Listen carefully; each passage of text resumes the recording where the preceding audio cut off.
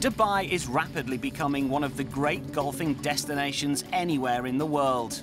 And the visiting golfer need look no further than the luxury of the Address Hotel, which is also home to the Montgomerie Dubai, a collaboration between renowned course designer Desmond Muirhead and Colin Montgomerie.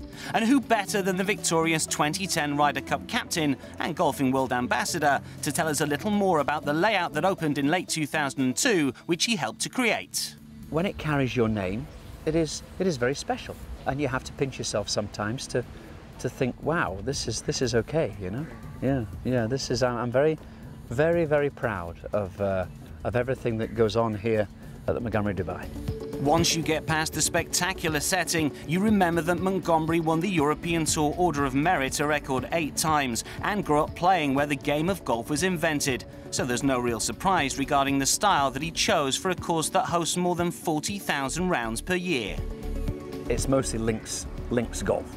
That's my, that's, that's Scotland, that's where we are, that's where I was brought up. I was brought up at Troon Golf Club, a very links course. You can run the ball in here.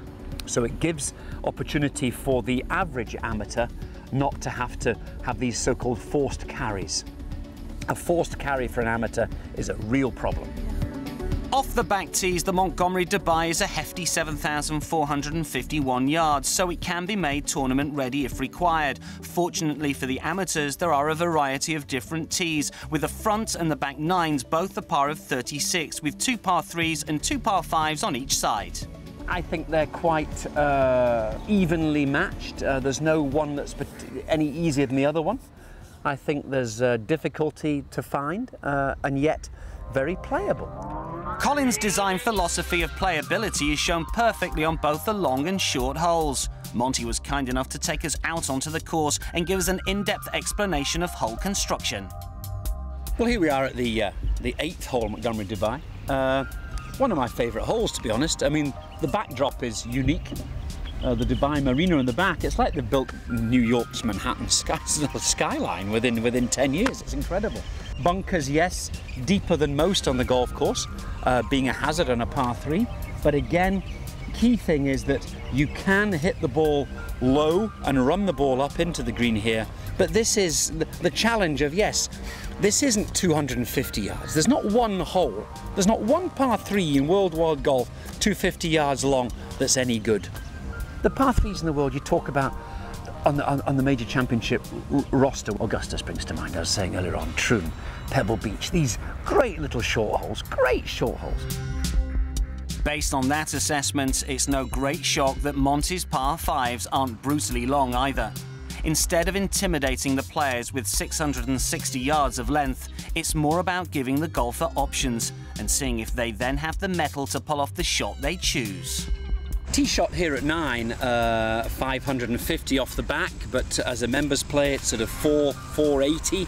So a potential birdie hole, really, uh, provided we miss the uh, uh the water on the left hand side. It is a wide fairway, there's a bunker on the right, but uh, it is wide, it's 50 yards wide, so we should be hitting the fairway.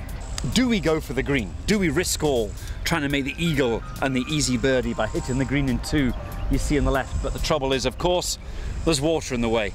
Or do we play the safe angle down on the right hand side here towards the fountain with a six iron, say, and then in with a wedge?